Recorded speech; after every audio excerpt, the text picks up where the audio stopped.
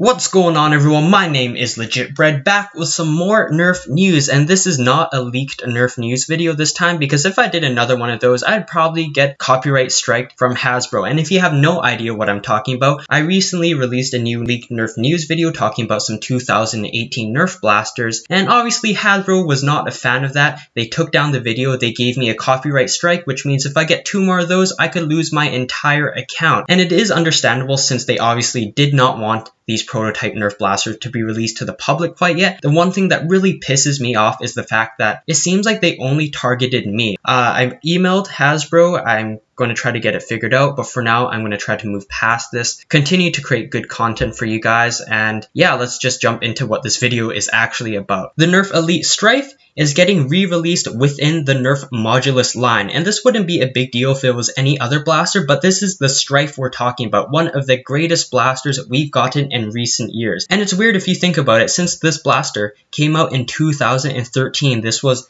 the first paint scheme of it with its original Elite blue and orange and white color scheme, and people absolutely loved it because it was so simple and effective. It's a semi-automatic blaster, it's compact, you can use it with one hand, you have two tactical rails, one at the bottom, one at the top, same with two sling points, you have a place for a barrel and a stock adapter at the back, so you could customize and personalize your blaster in any way that you want to, and that's what really appealed to people, besides the fact that it was such a juggernaut when it came to high rate of fire and easy capabilities to reload with its clip system. Eventually Nerf phased out this blue stryfe and for whatever reason they brought in this orange stryfe. I don't think people were too crazy about the color scheme but hey at least people could still get their hands on the stryfe. But the weird thing is according to what I've read and heard apparently the stryfe became very hard to find in certain places in the US and for the people that could actually get this online the price just went drastically up for whatever reason. Like if we take a look at Amazon.com right now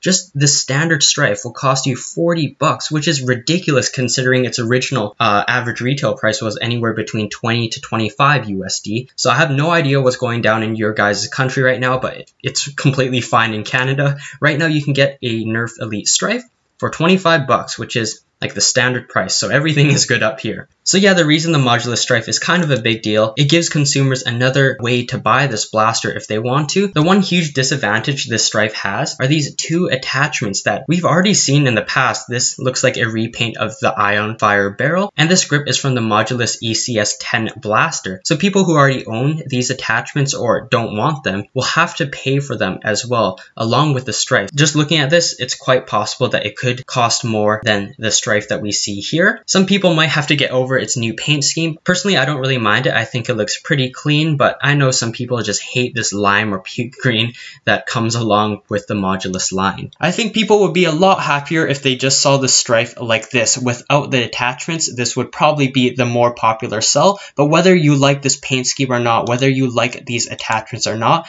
I believe it will all come down to price. Will it be cheaper than the $40 stryfe that we see on Amazon.com?